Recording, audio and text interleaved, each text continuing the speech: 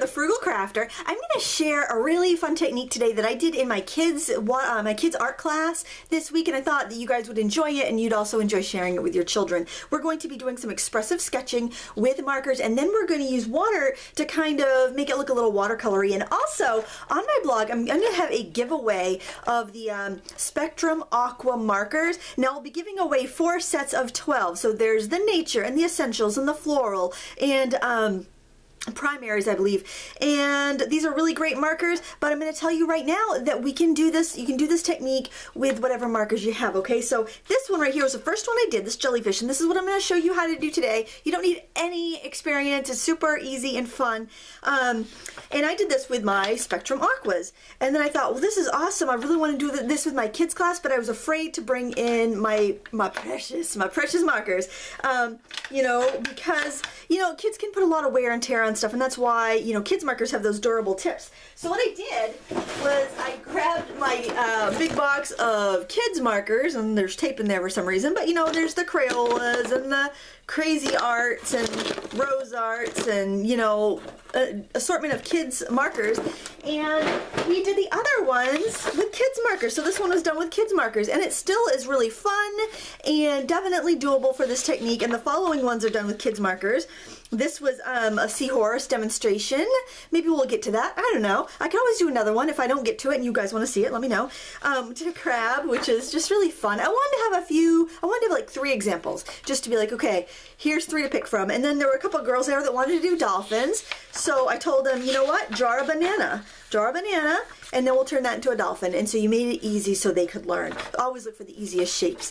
And um, there's another another um, seahorse, and I want to show you the one my daughter drew. She's 10. She did this one, and I just think they just looked great. Everybody that came to class came away with a beautiful picture. I'm going to show you how to do the jellyfish today because it is um, it's fun and it's easy, and it will help kind of break the ice with your markers. We're going to start off, and you'll notice with the tips on these markers, you can go on the top and you can get a you can get a finer line, and also you have the back side where you get a super duper fine line. Or you can use the edge and you can kind of give it more pressure and you can get some, you know, darker lines. So I'm kind of making this kind of umbrella shape for my jellyfish with a little bit of this color. And then I'm going to grab another shade of purple here.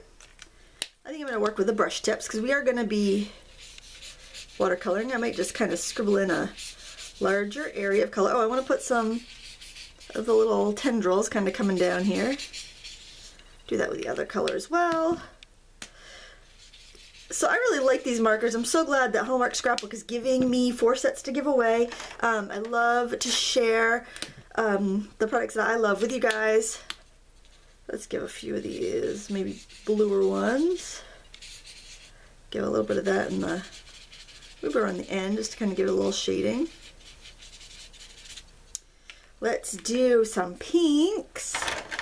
This one looks nice and bright. So when I'm working, there's a little tip. I put a rubber band around my markers, my marker case, because I they sell the case too. I think it's about $17.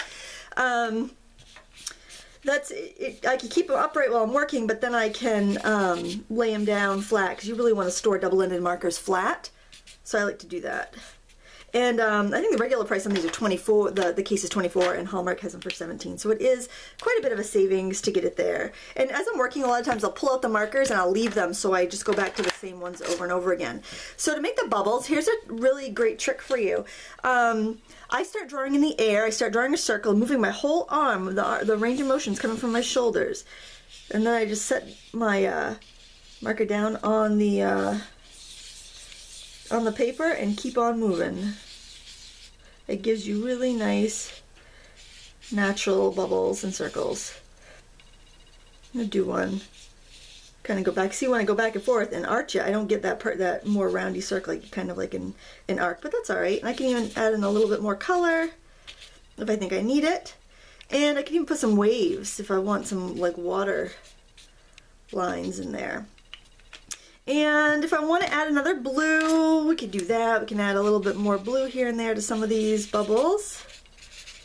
the, the point is to be expressive. Get over your fear of the white paper. I know it can be scary. This paper I'm working on is not expensive. It is the Dick Blick white sulfite drawing paper, and I believe it's the heavier weight. Um, it's really fabulous, and I um, I tested on a on a um, scrap drawing. I tested it with my pH tester pen. This is by American Crafts. If you make a line on your paper, if it stays purple or blue, it's pH neutral or acid free. If it crosses over to gray into yellow, then it's acidic. So they don't say this paper is acid free, but according to this pen, it is, or pH neutral anyway. So, um, so that's good. So now I'm just gonna kind of selectively go over some of my some of my drawing here. And the cool thing about this, I'm not working on watercolor paper, so it's not going to lift up completely.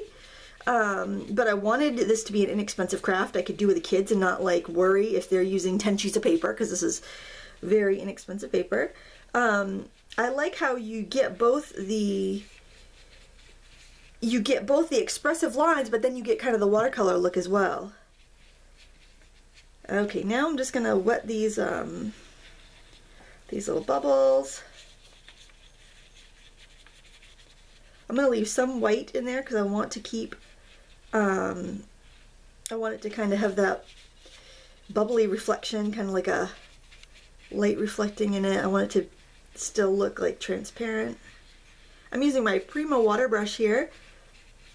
I just, um, and for the kids class, I just had a, I also teach a watercolor class at the library, so I just use my large round watercolor brushes and put very little amounts of water in, uh, jars for them so I didn't have to worry about spilling too much. I didn't have to worry about them soaking their paper too much. Um, and then another thing you can do is you can grab, I've got one right around here, I'll just take the stamping blocks, it's handy. Um, take those colors, especially the blues. Oops, I keep, keep forgetting the white stripe has the uh, brush tip end. Grab some of that, make it a little palette here so I can flick on some paint again with the wrong end. My, my, there we go, add some of that darker. Squeeze out a little drop of water on there. And make it look really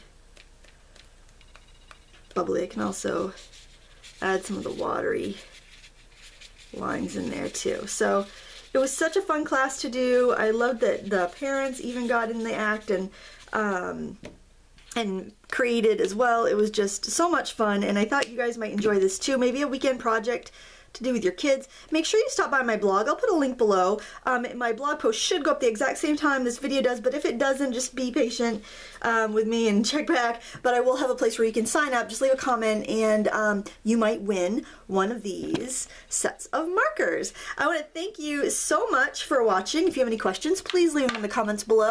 And um, until next time, happy crafting!